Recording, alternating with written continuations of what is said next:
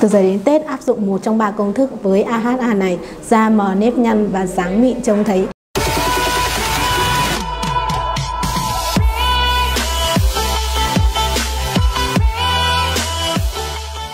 Xin chào mọi người, mình là Thanh, chuyên viên tư vấn tại Thẩm mỹ Sen. À, ờ, như các bạn biết, AHA là một thành phần không chỉ giúp tẩy da bào sừng mà còn thúc đẩy sự thay đổi tế bào mới, dưỡng ẩm và kích thích tăng sinh collagen, giúp da chống lão hóa. Chị em nhớ áp dụng một trong ba công thức với AHA sau đây để da mờ nếp nhăn sáng mịn trông thấy nha. AHA cộng retinol cộng serum HA.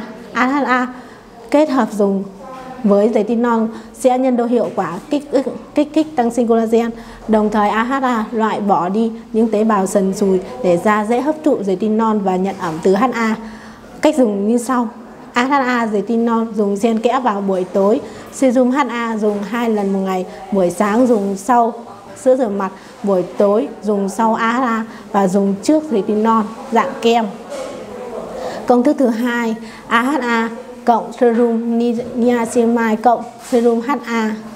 Ngoài AHA và HA được nhắc tới ở trên thì combo này còn có niacinamide giúp giảm dầu, dưỡng ẩm, thu nhỏ lỗ chân lông và hỗ trợ tăng sinh collagen, chống lão hóa. Cách dùng như sau. Niacinamide dùng buổi sáng, à, AHA dùng buổi tối 3 lần trên một tuần.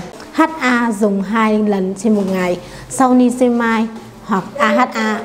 Công thức thứ 3, AHA serum vitamin C serum HA combo này hỗ trợ nhau làm sáng da tăng cường hiệu quả tổng hợp collagen mới giảm nhăn và chống lão hóa cách sử dụng như sau vitamin C dùng buổi sáng AHA dùng buổi tối 3 lần trên một ngày HA dùng 2 lần một ngày sau vitamin C hoặc AHA gợi ý chọn nồng độ cho các bạn AH là các bạn có thể dùng từ 5 đến 10%, retinol từ 0,3 đến 1%, niacinamide nhỏ hơn 10%, vitamin C nhỏ hơn 10%, HA từ 1 đến 2%. Nếu thấy video này hữu ích, các chị em hãy chia sẻ về trang cùng nhau để thực hiện nhé. Chúc các chị em sớm có một làn da đẹp rạng rỡ đón Tết. Và nếu có thắc mắc hoặc câu hỏi nào hãy inbox ngay cho thẩm mỹ sen để được giải đáp.